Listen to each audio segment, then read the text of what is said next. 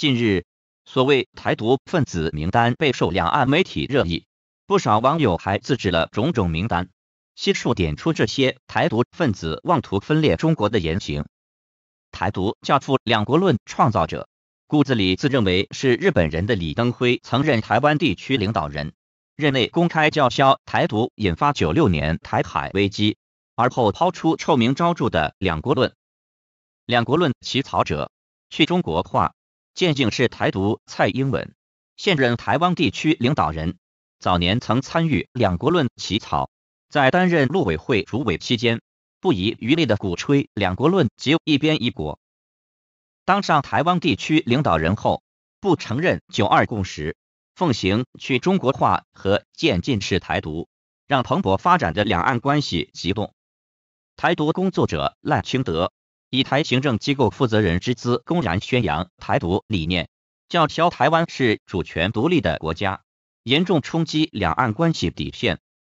陈水扁一边一国创造者入联公投，陈水扁作为典型投机台独分子，二零零零年就任台湾地区领导人时，曾做出四不一没有的承诺，而后公然叫嚣台湾是主权独立国家，两岸是一边一国的关系。在岛内及两岸造成极其恶劣影响。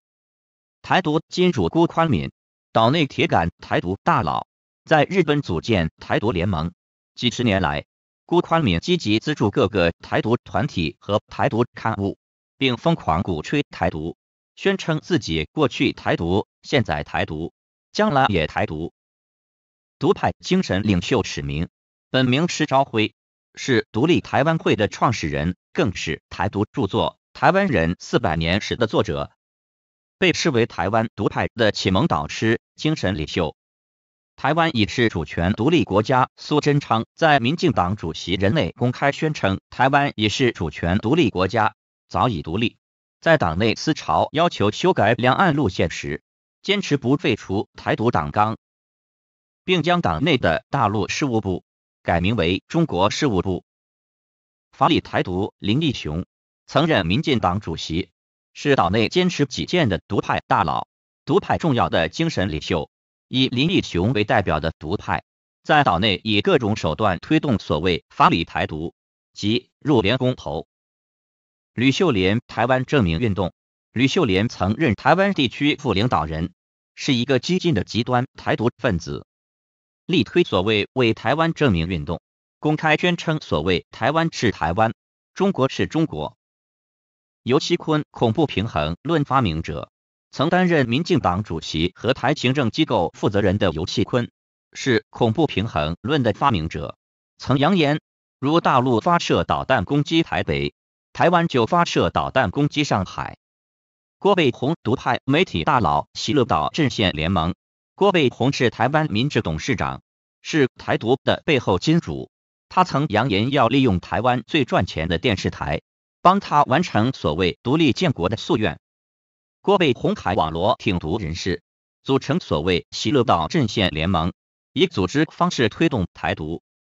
黄国昌太阳花幕后黑手，现任时代力量党主席的黄国昌，二零一四年幕后组织太阳花学运。煽动学生仇视反对大陆，污蔑两岸服贸协议，制造两岸对立，严重损害两岸关系。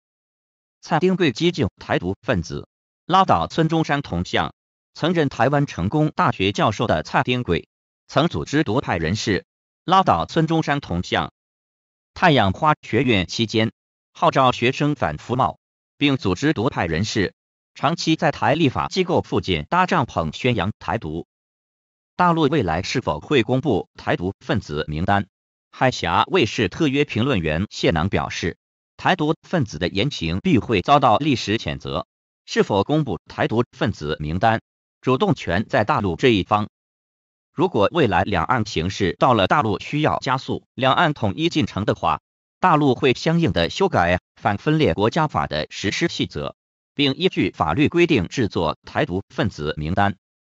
若制定并公布了这份台独分子名单，大陆必会采取一系列政治和经济手段加以惩戒，以推进两岸和平统一进程。